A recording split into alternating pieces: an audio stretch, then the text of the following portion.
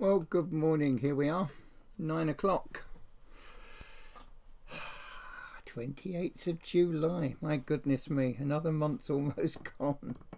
It'll soon be Christmas. Oh my word. Hallelujah and all that stuff. Oh. So let's come before the Lord. O Lord, open our lips and our mouth shall proclaim your praise. O Lord our Governor, how glorious is your name in all the world. Your majesty is above the heavens, is praised out of the mouths of babes at the breast. You have founded a stronghold against your foes, that you might still the enemy and the avenger. When I consider your heavens, the works of your fingers, the moon and the stars that you have ordained. What are mortals that you should be mindful of them? Mere human beings that you should seek them out.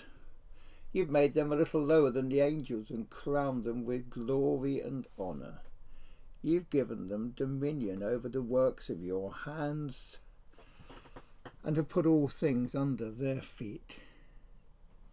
All sheep and oxen even the wild birds of the field, the birds of the air, the fish of the sea, and whatsoever moves in the paths of the sea. O Lord our Governor, how glorious is your name in all the world. Glory to the Father, and to the Son, and to the Holy Spirit as it was in the beginning, is now, and shall be for ever. Amen. The night has passed, and the day lies open before us.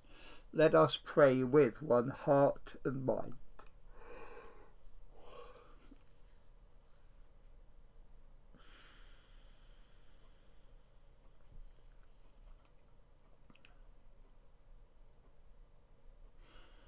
As we rejoice in the gift of this new day. So may the light of your presence set, O oh God, set our hearts on fire with love for you now and forever. Amen. Psalm 34 I will extol the Lord at all times. His praise will always be on my lips. I will glory in the Lord. Let the afflicted hear and rejoice. Glorify the Lord with me. Let us exalt his name together. I sought the Lord, and he answered me. He delivered me from all my fears. Those who took to him, look to him are radiant. Their faces are never covered with shame. This poor man called out, and the Lord heard him. He saved him out of all his troubles. The angel of the Lord encamps around those who fear him, and he delivers them. Taste and see that the Lord is good. Blessed is the one who takes refuge in him. Fear the Lord, you holy people, for those who fear him lack nothing. The lions may grow weak and hungry, but those who seek the Lord lack no good thing. Come, my children, listen to me. I will teach you the fear of the Lord. Whoever of you loves life and desires to see many good days, keep your tongue from evil and your lips from telling lies. Turn from evil and do good. Seek peace and pursue it. The eyes of the Lord are on the righteous, and his ears are attentive to their cry. But the face of the Lord is against those who do evil, to blot out their name from the earth. The righteous cry out, and the Lord hears them. He delivers them from all their troubles. The Lord is close to the broken-hearted and saves those who are crushed in spirit. A righteous person may have many troubles, but the Lord delivers him from them all. He protects all his bones, not one of them will be broken. Evil will slay the wicked, the foes of the righteous will be condemned. The Lord will rescue his servants. No one who takes refuge in him will be condemned. I will extol the Lord at all times. His praise will always be on my lips. I will glory in the Lord. Let the afflicted hear and rejoice. Glorify the Lord with me. Let us exalt his name together. I sought the Lord, and he answered me. He delivered me from all my fears. Those who look to him are radiant. Their faces are never covered with shame. This poor man called out, and the Lord heard him. He saved him out of all his troubles.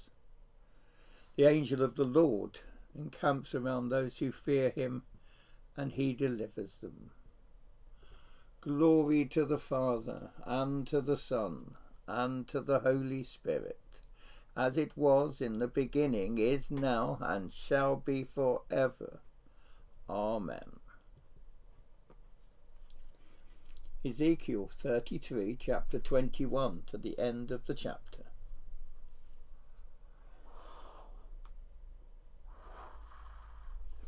In the twelfth year of our exile, in the tenth month, on the fifth day, a man who had escaped from Jerusalem came to me and said, The city has fallen. Now the evening before the man arrived, the hand of the Lord was on me, and he opened my mouth before the man came to me in the morning. So my mouth was opened, and I was no longer silent. Then the word of the Lord came to me. Son of man, the people living in those ruins in the land of Israel are saying, Abraham was only one man, yet he possessed the land. But we are many, surely the land has been given to us as our possession. Therefore say to them, This is what the sovereign Lord says. Since you eat meat with the blood still in it, and look to your idols and shed blood, should you then possess the land? You rely on your sword. You do detestable things, and each of you defiles his neighbour's wife. Should you then possess the land? Say this to them. This is what the sovereign Lord says. As surely as I live, those who are left in ruins will fall by the sword. Those out in the country I will give to the wild animals to be devoured, and those in strongholds and caves will die of a plague. I will make the land a desolate waste, and her proud strength will come to an end, and the mountains of Israel will become desolate so that no one will cross them. Then they will know that I am the Lord, when I have made the land a desolate place because of all the detestable things they have done. As for you, Son of Man, your people are talking together about you by the walls and at the doors of their houses, saying to each other, Come and hear the message that has come from the Lord. My people come to you, as they usually do, and sit before you to hear your words, but they do not put them into practice. Their mouths speak of love, but their hearts are greedy for unjust gain. Indeed, to them you are nothing more than the one who sings love songs with a beautiful voice and plays an instrument well. For they hear your words but do not put them into practice. When all this comes true, and it surely will, then they will know that a prophet has been among them.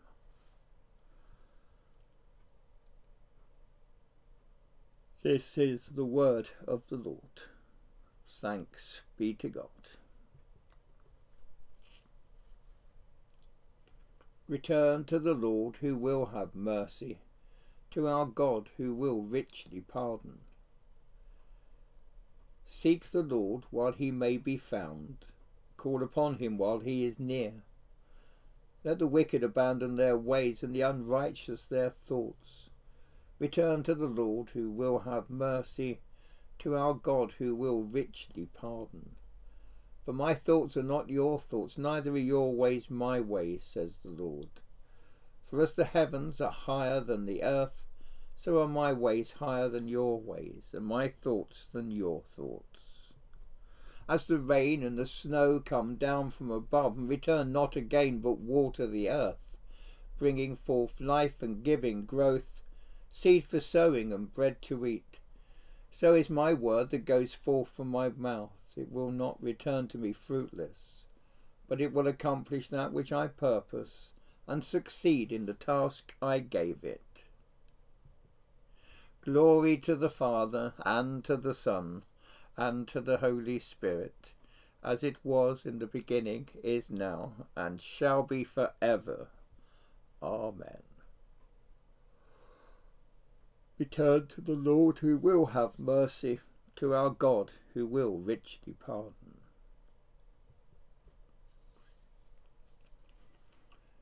James chapter 3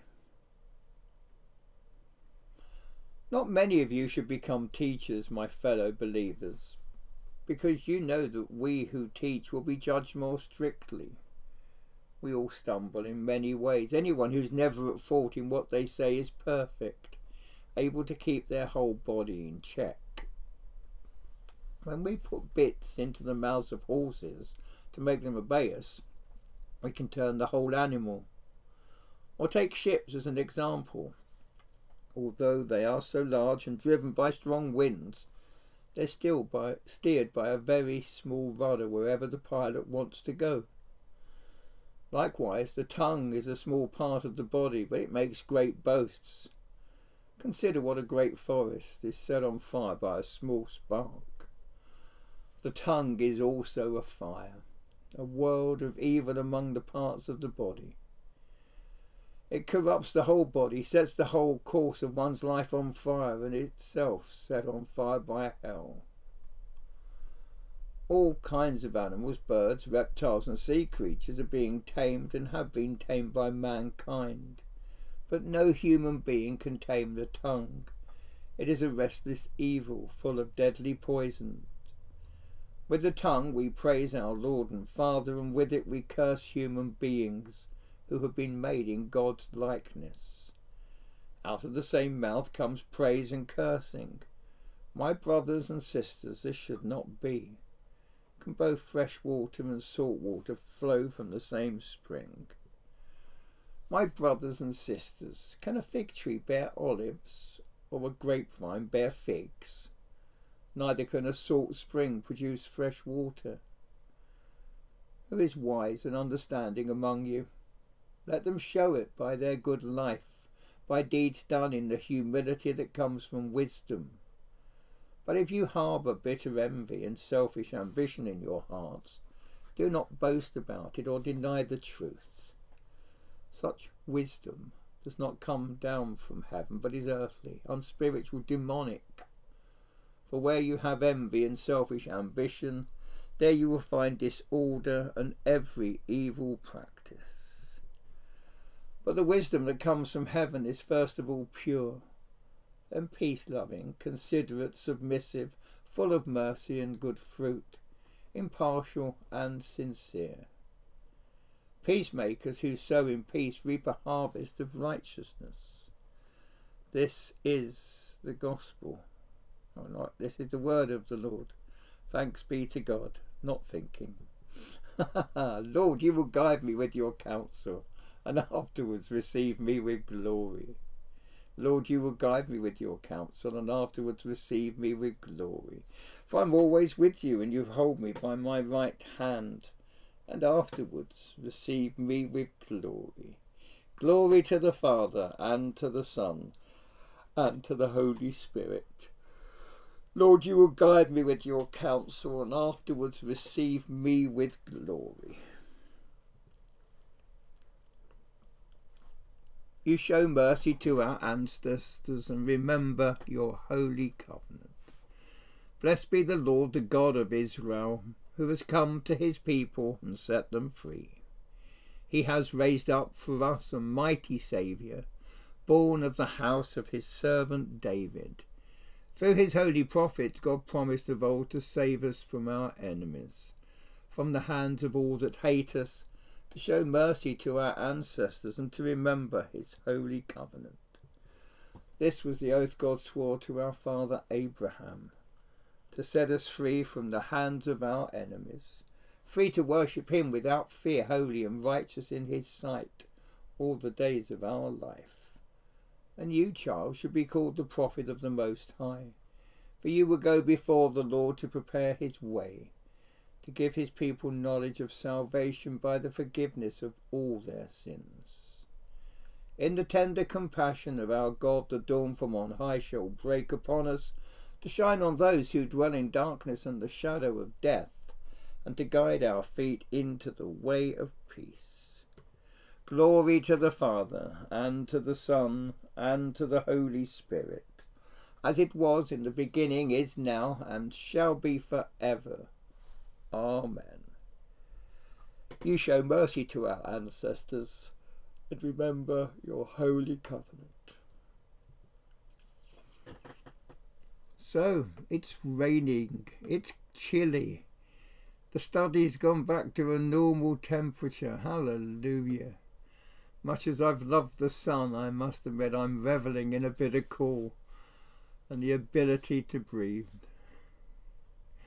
And as I kind of wish I could still be in bed this morning, it's the the drugs are working, the ear infection is coming to its close, but I have no energy at all. I look at the things before me and realise with just an ear infection, how blessed I am not to have COVID, not to live in a place where there is famine or flood or fire, or in a refugee camp where housing is scarce and so many things are absolutely awful. Father, this morning may we look at the problems we have, the things that beset and surround us, and realise that in the order of the day, in the course of this world, we are so blessed. The things we consider problems are nothing when taken into reflection of the world around us and its needs and its brokenness. So, Father, we pray for those this day with struggles, with problems. We pray for those this day with cancers. Those we pray for regularly with mental health problems, for those whose work life, whose family life, whose everything is in disarray and disorder. Father God, as we come to start our day with the things we have planned and the things that will unexpectedly arise, we pray that we would have a cheerful countenance, that we would be a blessing and realize how very blessed we are. Lord, in your mercy, hear our prayer. And Father, as we start to look at the world, as we wonder what the world has to offer, we realize what the world has to suffer. Father God, we come before you today and we pray for peace in Tunisia, in Ethiopia, we pray for the situation with Tigray as others are joining the Ethiopian army as they are standing together to fight the people in Tigray. Lord, as people will flee to Eritrea, undoubtedly, we pray for the whole region. We pray for peace in Nigeria and all that is happening there. We pray for the conflicts and the divisions in Mozambique as the army take a base back that the militants are taken. We pray for Israel and Palestine. We pray for Afghanistan and Iraq. As soon there will be no coalition or other troops. And as over 50% of Afghanistan is now handed back to the Taliban Lord, all that we have done seems to be slowly swept away. We pray that that would not be the case. And Father God, as we pray for the world, we think of Myanmar, we think of China and India and their conflicts, and China and the world, Russia and all that the world sneers at with that nation at this time.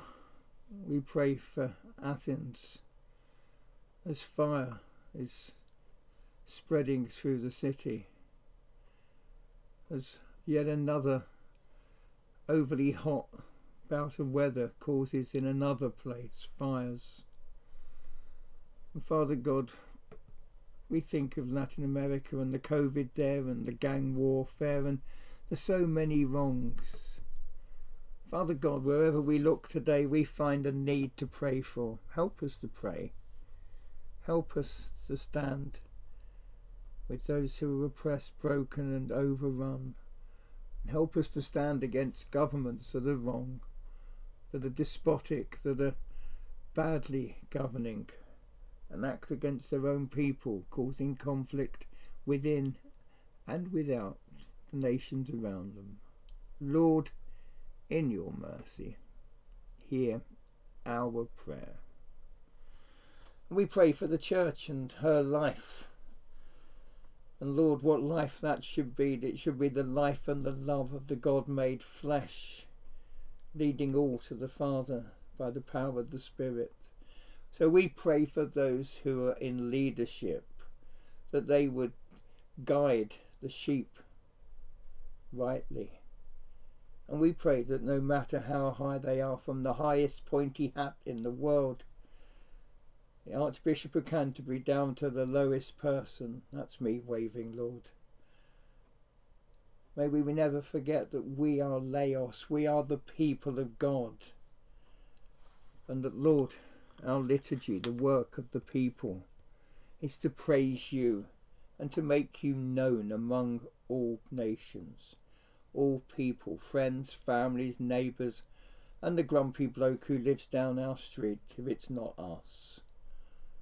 Lord, in your mercy, hear our prayer. Lord God, your Son left the riches of heaven and became poor for our sake. When we prosper, save us from pride.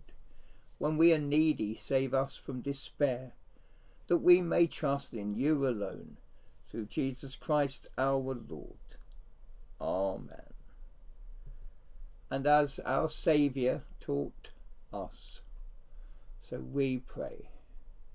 Our Father in heaven, hallowed be your name. Your kingdom come, your will be done on earth as in heaven. Give us today our daily bread. Forgive us our sins as we forgive those who sin against us.